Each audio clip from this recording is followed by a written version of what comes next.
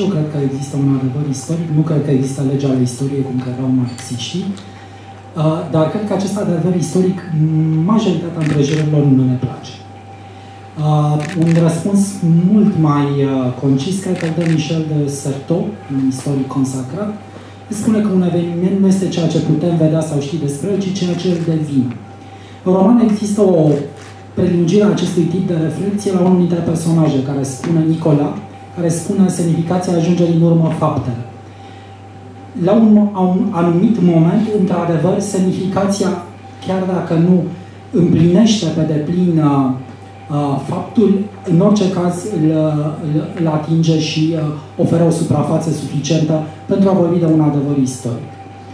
Uh, aceasta este o chestiune, a doua cu care doresc să închei. Este foarte interesant că elita inte, intelectualității interbelice uh, a fost în mod fundamental preocupată de uh, identitatea națională, de frumosul național, de societatea țărănească, de la școala de sociologie a lui Dimitrie Gusti, de la filozofii români extrem de importanți, Mircea Vulcănescu, Emil Cioran, Lucian Blaga, Dan Bota, Constantin Noica.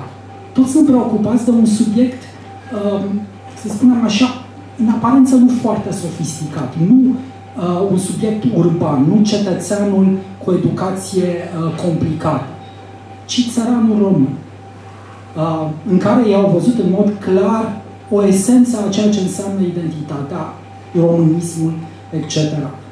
Partea interesantă și pe care acest roman o face, o revelează, este o punere în abis, nu acestei preocupări strict, ci a raportului între identitate și alteritate.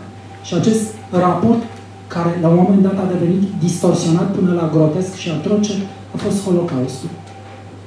Sunt două fotografii în uh, romanul 2 Naigela, teribile, cu uh, evenimentele, de fapt asasinarea uh, evreilor în 26-27 noiembrie în închisoarea de la Jilava, sunt puse una sub alta, e același peisaj de iarnă cu copaci uh, lipsiți de frunze. Într-o fotografie pe zăpadă sunt cadavre, în cealaltă foto și nimic altceva. Nu poți să identifici ce s-a întâmplat, de unde, e o scenă de război, absolut nimic. În cealaltă există, aceste cadavre au fost uh, dezbrăcate, sunt corpurile goale, lăsate în zăpadă, se văd câțiva soldați și un țăran care trece printre care, care, care probabil nu, ă, nu continui narațiunea cu date pe care nu le am. E o punere în abis a frumosului național, ca să spun așa. Și este terifiant. Asta este o parte pe care, care ține de adevărul istoric și care este foarte greu de asumat, dar pe care cu o uh, realmente cu o extraordinară finețe și consimță al nuanței, Doi Angela o face uh, revelabilă fără tezisme. Fără tezismele uh, și exagerările, să spunem, într-o direcție sau alta. Și, și această... atunci literatura da. face mai ușor acceptabil adevărul istoric? Cred că literatura vorbește mai ușor decât vorbește un istoric, pentru că acoperă un, un portativ mult mai larg, mult mai extins al umanului decât o face un istoric.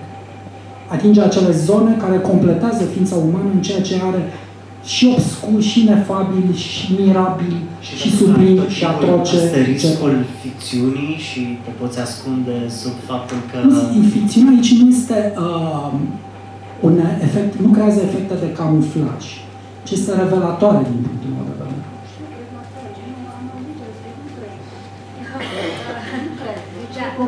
Nu, nu.